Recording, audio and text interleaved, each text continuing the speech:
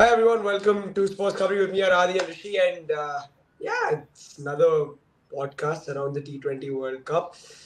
Who, according to you guys, are the top three bowlers at the moment? T20 bowlers at the World Cup. Very hard to decide. I think um, there, of course, will be some easy shouts in this one, but it's going to be interesting to see who you guys throw in and what we, I mean, how we sort of come to a conclusion in the end.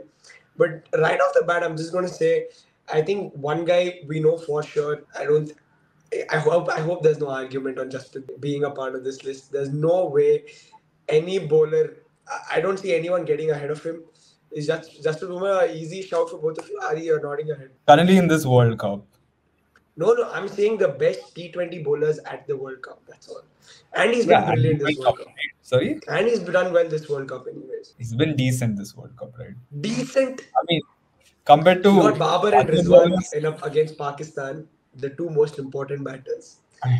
Rizwan. He bowled three no. for seven in the previous game. Three, three for seven. Seven runs in four overs. Three wickets in a Super 8 game. against Afghanistan, who we know Oh, brother, who else you he played every game he's played, he's picked up wickets and he's not He's considered. not. He's not even in the top five wicket-taking uh, bowlers right now in the T20 World Cup. By the way, Adi three Yeah, for obviously seven. That's these guys are playing. Uganda, some Papua New Guinea.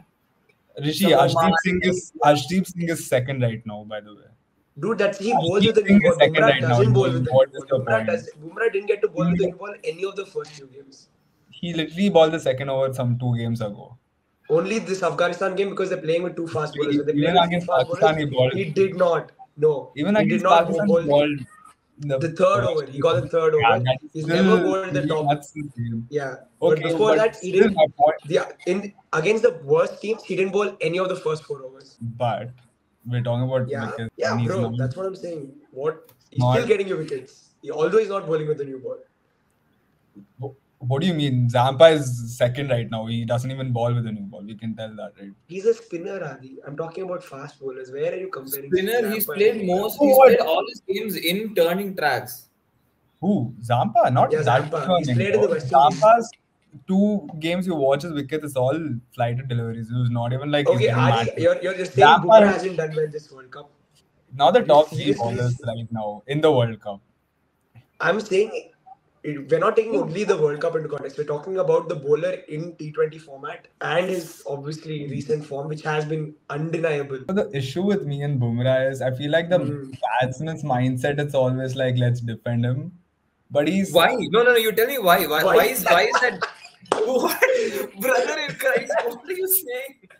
bro, Why the problem he- is Yeah, yeah, tell me. The problem is during these games when they play against Bumrah, it's always the mindset okay, let's defend, defend, defend. So he's never gonna get the main wickets, especially in the IPL. And then when he gets wickets, it's always a tail enders, in my opinion, in what I've seen. And then you see him start batting a lot of wickets, then you'll see him in purple cap suddenly out of nowhere, and then you see he doesn't even win the purple cap. To be fair, all the balls he balls is actually pretty smackable, but bro, I don't know why all these batsmen just weirdly are like, okay, let's not There's no way. Okay, wait. I, I wonder. There's I wonder why these batsmen, these this. Crop of best batsmen all across the not globe, not crop of collectively best decide- batsmen. collectively Only like- to be like, yeah, let's just defend him. I wonder why they do that. If he's if it's No. all smackable balls, they should just go after him. No. Bro, the problem is it is smackable, but the problem is these guys are in some weird mindset. I don't know why. That's my question. I think this is the question we have to actually understand why these guys actually defend when you can actually hit a lot of Adi, the first so first game against Ireland, Bumrah bowled two two wickets, six runs in three overs. against Ireland. Okay. Exactly. Yeah, yeah. So I'm giving you the games that he's played. Against Pakistan, he got Babar and Rizwan.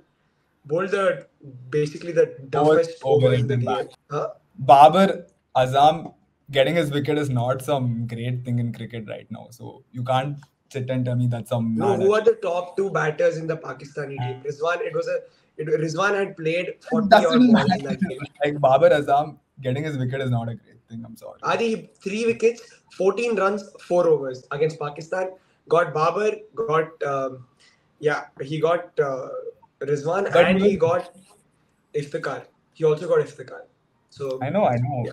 I know. I'm In- not leading up to this disagreeing in terms of leading up to this T20 World Cup, in the IPL, in that circus of Mumbai Indians bowling lineup, he arguably had one of the best economy rates ever in an IPL. That's in, what I'm in saying. an bro. IPL, keep in mind in an IPL where it's been a road show. Everyone's going for like it's all two- 250, 260, 270 scores, and No, he's the one keeping it say seven and over, or in in fact even a lot of times even less than six and over. Like as a pace bowler, that I don't know what more you can uh, see. Okay, Adi, tell me who are the top three bowlers if if it comes down to defending seven runs in the last over. Who are you giving it to? I Hmm. know I'm going to close my eyes and give it to Bumrah. And Even I I'm know going to that close my eyes and give it to like Bumrah. I'm just eight out of ten times he'll defend it also. Yeah. Uh, bro, I don't know. I still feel like I've seen him get smacked in the last over, and you know, especially in the IPL, and he's not like defended. Who are you runs. giving it to? like- Answer the wait, once he's question. actually defend- You answer the question. Who are you going No, no, the ball to? You tell. No, you tell me, has he ever defended seven runs in the last over and actually won a game? Okay, Adi, You who do you me. give the ball to? Has, You has Bumrah ever been a game winner? Yeah, You this tell is me. a For me, it's more like has Bumrah ever been hypothetical. He does in the World Cup? Who do you in give the the ball ICC, in what? the last over seven runs. If you had to give it to some bowler in the world, who do you For give it India or like in general? In any general. bowler in the world. Any oh bowler my in the world. Three, Any- three bowlers who you're going to give it to. I feel like any bowler in the world can't defend seven runs right now in cricket. In my opinion, right now, seven runs, I still think Okay, batsmen have nine the runs.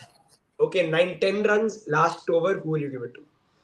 And assuming assuming these are the best batsmen in the world who are at crease. It's not some random middle order or some guy like like assume it's ba- like cream of batsmen who are at the crease right now. That's my point. I feel like if cream of batsmen is still there, I feel like batsmen are going to win it. Like 10 of 6 in T20, I I can tell you 99.9% batsmen will win it. And that's my point. Like, Agreed. Ar- Ari, I'm not, like, see, see, that's that's a fair shout that it is a batsman's game. They are gonna try and score, but you still But have are to. you? You have to- you have to try You the are the- other. Adi, you are the captain. Okay, you are the Like, captain. Yeah.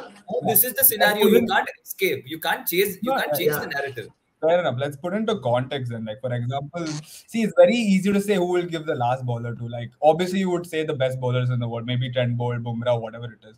But Not if you put necessarily. I wouldn't give it to say Trent, Bo- Even Trent Boult. If I, give it to if, Trent Boult. even in, in that Rajasthan lineup, I would rather give it to someone like Sandeep Sharma over Trent Boult Yeah, in the. I would give it to Bumrah. Eyes closed right now. Like who do you give it Please, to? Like are Trent you Boult? you choose Sandeep Sharma over Trent Boult when it matters? In in the death, in the death, yeah. How Dude, are you Trent telling Boult's- Trent? Trent How Boult's are you- is Bro, something bro, entirely this is- Okay, okay, No, this is bro. next Wait one level. second. We're going off track. One second. And one more thing I just want to add. Bumrah has eight wickets in four games. Zampa, who is the leading wicket taker, is 11 in five games. Let Bumrah play one more game, then we'll talk, okay? And uh, Also, what are their economies? Look at Farooq, One he has second. yeah, yeah, yeah. yeah. So Zampa's economy is uh, 10.72. See, that's my kidding, point. kidding. It's not 10.72, it's 5.9. No, I'm just kidding. It's 5.9. He's 5.9. Yeah. Bumrah is 3.46. 3.46. Bro, he's playing in joke. test wicket. He's playing in test It's wicket a conditions.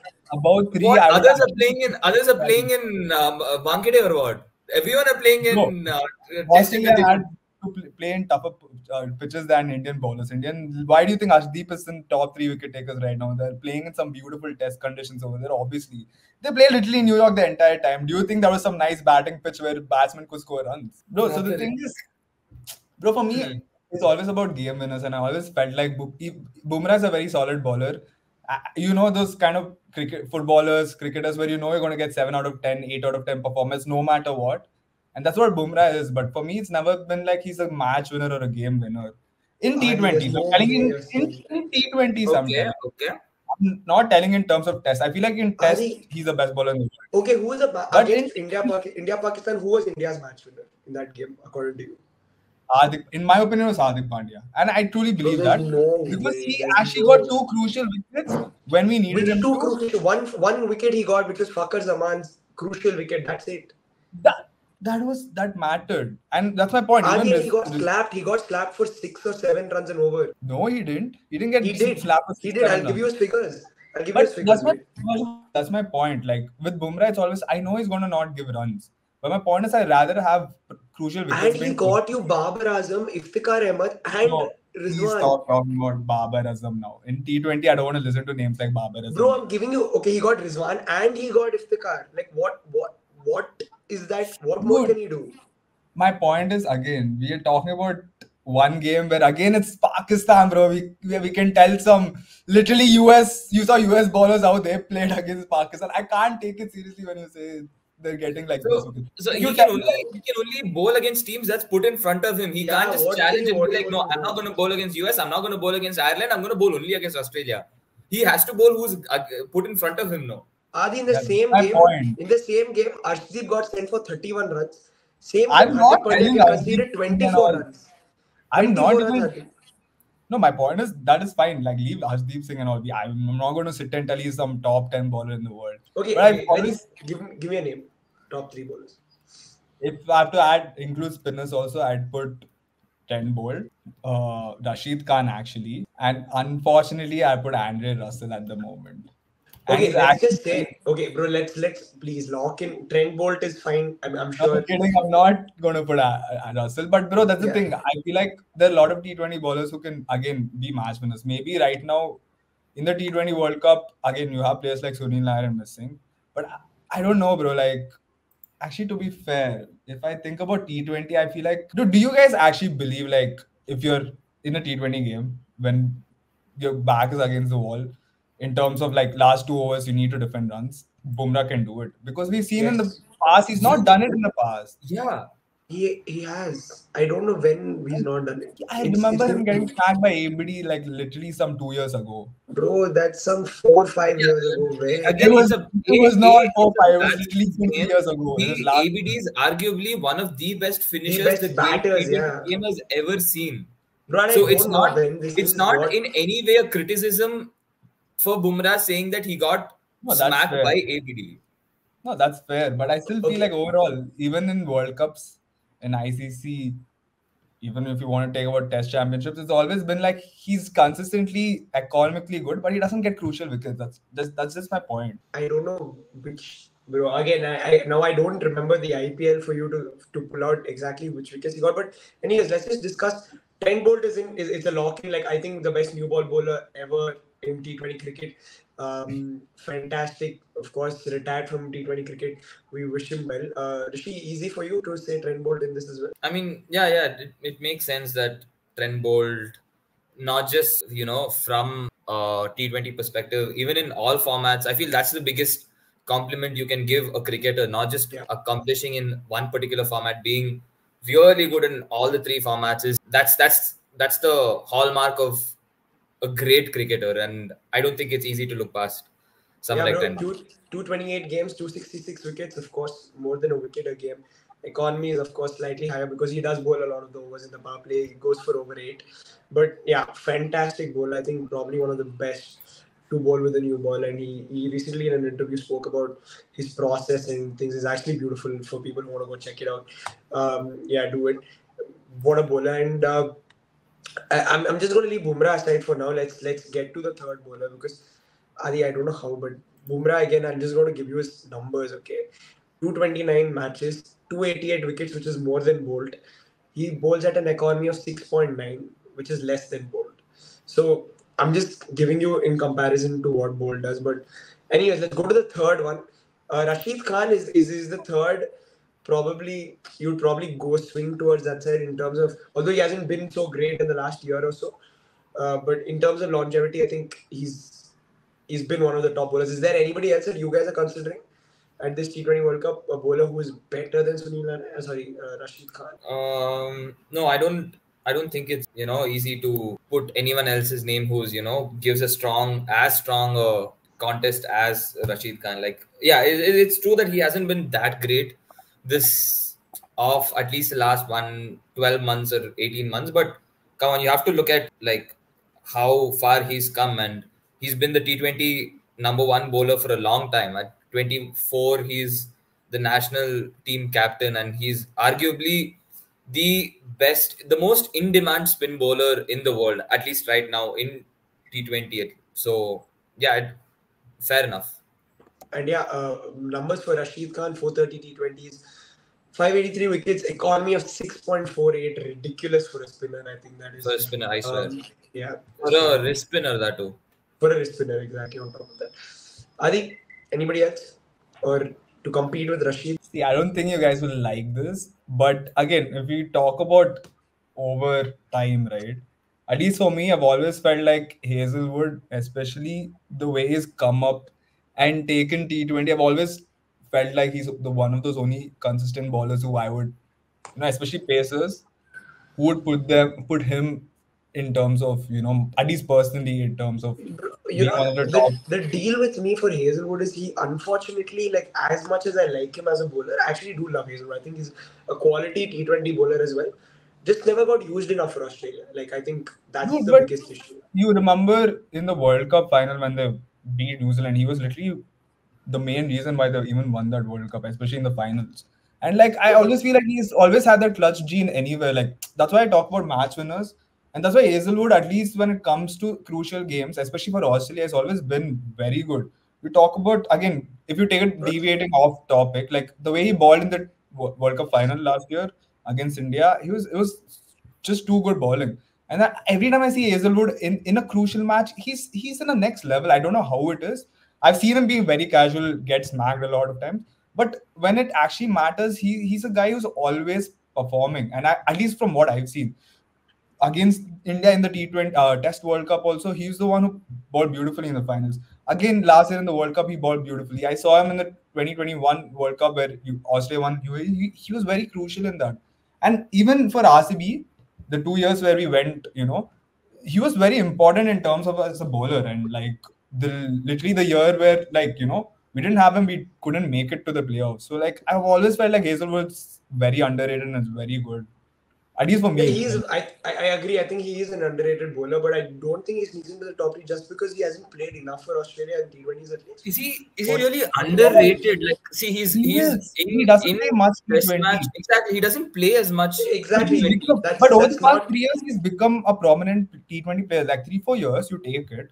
He's played a lot of T20s. He played the tw- last two World T20 World Cups. He's played for RCB over the past two years also, and he's been In that, very consistent. in that he he he left halfway through. A he left halfway through in the World Cup. I mean, sorry, in IPL. And before that, for a consistent period, he would show up at T20 World Cups, and then you know if if it was part of a larger say Test series or like an ODI series, they'd keep him for the ODI games or the Test games, and they'd rotate him for the. They'd play someone like an Ellis. Yeah, someone exactly. like that. for the I, I, I've seen that happen a lot with Hazlewood. Like, Exactly. He's, just he's that's the somehow- problem, but he even- compromised. It's not But- fair. It's not fair to him that It's like, not you fair know, to we him, can't we can't count him. But I just feel a lot more players have played more cricket and have done. See, if he plays more often, I'm pretty sure he'll be he'll be in one of the. I mean, he'll be in content like he'll be in contention for the spot. Is just that unfortunately for him, I feel he hasn't. He simply hasn't like gotten the chance or hasn't been used enough in T20s because of course Australia has their workload management. They prefer or they prioritize their tests and ODIs compared to these bi- like not bilateral just these random tours T20 tours that they go elsewhere. And I completely get it. But it's just that this is one of the byproducts. Like it's inevitable that when you prefer one format or two formats over the other one or one or two players have to be sacrificed. You know, it's just unfortunately for him this is the format that he hasn't been Not exactly. I think that's the story. No, but he's been playing a lot over the past four years. That's what I'm trying to say. And even you take back, if you talk about stats, also you look at his stats, it's always been very good. Like in terms of 10 bowled, he's played 50 T20 internationals. That's actually not less compared to if you want to take Bumrah, he's played Bumrah's played 64 T20s, while Hazlewood has Yeah, played yeah. 50. T20 yeah. Yeah. You- But I think Adi, they play a lot more T20 cricket around the world. That's Yeah. That's another But he, factor. which no, that's what I'm saying. Hazel, bro, that's the point. Like with Hazlewood, he was never a T20 bowler, but the way he's reformed and he also been include, he's come into the T20 setup. He's been very important for Australia, in my opinion, at least. I still think if you're talking about T20, he's the best bowler. In actually, in my opinion, like Stark, obviously, is that left left seamer. You know, can swing it both Mm. ways. But if I talk take Stark out of certain conditions, he's not the greatest bowler. Even with Cummins, I feel like Cummins is a very we know he's a good bowler, but I still feel like Hazlewood is the match winner, and he's been the match winner for Australia. And I think to be fair, if you want to talk to me about this thing, I would rather have Trent Boult. I mean, I would rather have Bumrah or Hazlewood defending my last over, last two overs, than I would have Trent Boult defending my last two overs. No, 100%. yeah, Trent yeah, Boult, definitely. no Trent Boult is not even I a would. death over specialist. Yeah, but like for example, you look at him for New Zealand, he will have to play as a dead ball specialist because like again he he finishes two three overs in the beginning, he always leaves one two overs for the end. It's always like that with Trent Boult. No matter what he, even if you think like okay, we don't you know see him as you know he's he's he's, he's special his speciality is like in the power play, but he still balls like. For example, even in the World Cup, like the 50 over World Cup, he's the one who bowled the last over. He's the one who bowled the super over. Like he's always going to be bowling the crucial overs. But my point is like bro, I just I, I think like one thing for sure is like Hazlewood, career has always been like maybe he's not that flashy, maybe it's like the role he plays for Australia. People never consider him, but I would me personally, I would always have like Hazlewood over like it's unfair because I feel like Trent Boult we can't take out power play in, in T20 because the way 10 ball balls that, you know, it's it's very crucial because even getting wickets in the power play is also important. But I don't know, bro. For me, it's always like I always like match winners, and that's why that's why I always like look at Hazlewood, and I'm like he's he's very underrated. See, we're not we're not denying his quality. If if if I had to pick my top three bowlers right now, regardless of you know formats, for me, Josh Hazlewood will probably be one or two. Maybe Boom, it, it will be between Bumrah and Hazlewood for me in across all formats. Hazlewood's one of my all-time favorite bowlers. His accuracy, line and length is laser precise. But it's just that yeah like like I said, it's just I've seen someone you see like a Rashid Khan. He goes and plays every league in the world. He's he plays well. He plays. He gets ample amount of wickets. He has the numbers backing him. It's just that it's hard to look past that. I have I have absolutely no doubt that if Hazlewood plays the same number of games that Rashid Khan plays, he might have similar numbers. He might or he might he might even get more wickets. It's just unfortunately for us that will always be a what if he did that? Like exactly. we don't have that concrete backing. That's again, I feel very sad saying this is because he's one of my favorite bowlers. It's just I feel it's since there are players who you know played more cricket, it's only fair that you you know look at them more. Let's let's, let's quickly wrap it up. So uh, we we've agreed on Trent Boult and Rashid Khan and Adi. I, I, I, hesitantly has to agree on Bumrah, but yeah, I think that's where we stand after this. this bro, shout out to my Saurabh Netravalkar, bro, please. Brother, this guy. What a left arm genius. What a left arm engineering. engineering genius, bro. My guy. Rishi, when will we see you, Dad, do something like that? Uh, I'm going, bro. I'm, I'm going to find a new country and go and represent them. Bro, when, bro? Like, on the side, work 20, with some laptop. 20, 2030, 2030, here I come. I mean, we'll see, we'll see. Okay, uh, it, it, it's been fun. That's that's the list that we've got. Bumrah, Rashid Khan, and uh, Trent Boult for now. Uh, but yeah, thanks everyone for watching. Let us know your top three um, T20 bowlers at the current World Cup. Do let us know if you disagree with any of our picks. Do you think Josh Hazlewood also sort of deserves to be in there because what a bowler he is as well? Um, again, thanks everyone for watching. Share, like and share these videos. Subscribe to SportsKhabri. See you soon.